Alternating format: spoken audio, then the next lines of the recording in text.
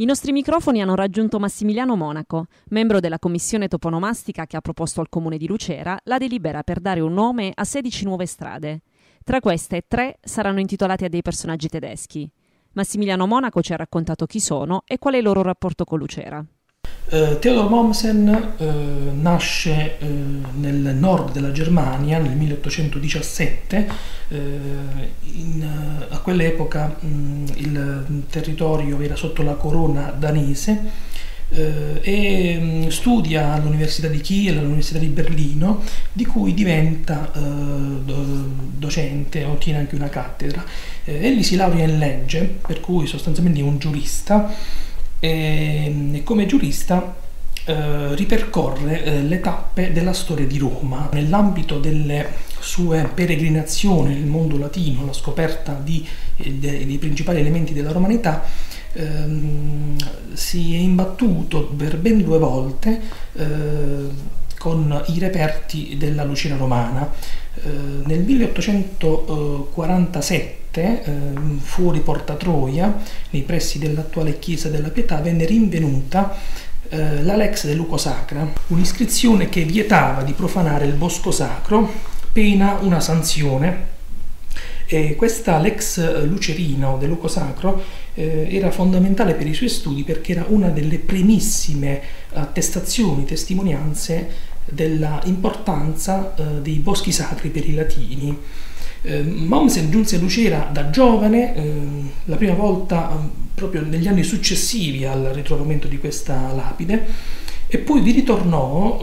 eh, in età più adulta, 56enne, nel 1873, e fu il momento in cui egli apostrofò i lucerini di distruttori di patrie memorie. Fu questa un'invettiva che pesa ancora, pesa ancora oggi sulla, sulla storia della nostra città e la dice lunga sullo spirito di conservazione dei monumenti, dei reperti della grande e lunghissima storia lucerina.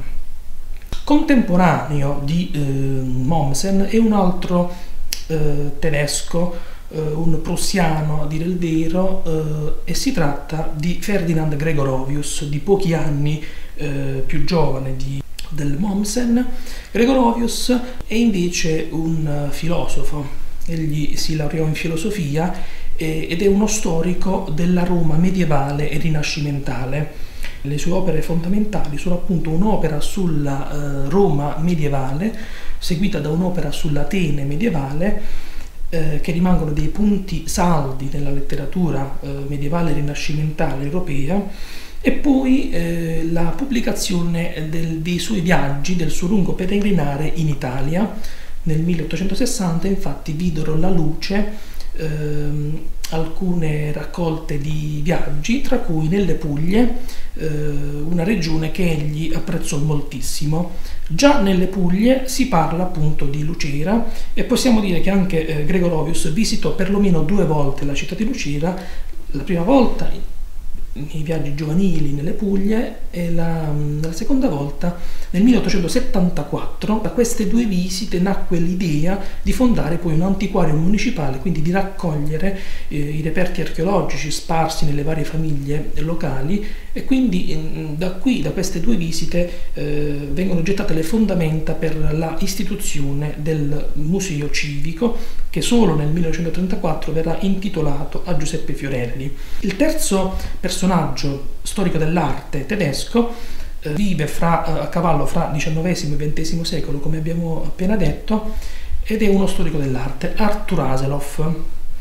Uh, Arthur Aseloff uh, ottiene una cattedra sia all'Università di Kiel uh, sia all'Università di Berlino,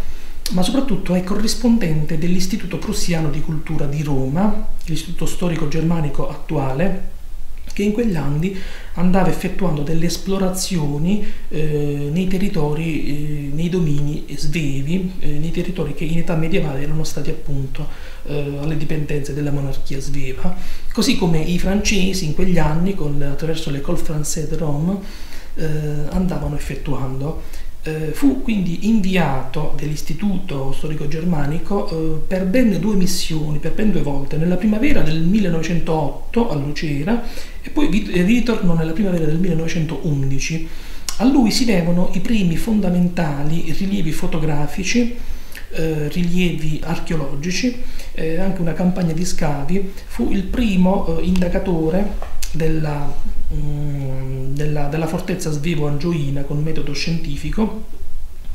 eh, un'opera che poi venne pubblicata postuma soltanto nel 1992, appunto l'architettura sveva nell'Italia meridionale. Aselov a Lucera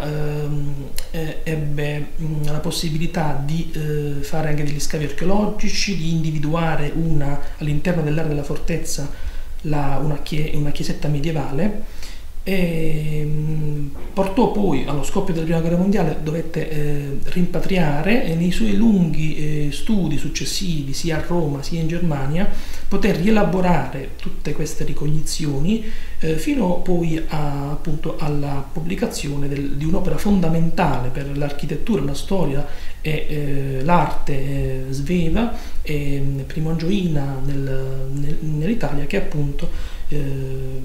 l'opera che abbiamo appena citata del 1992.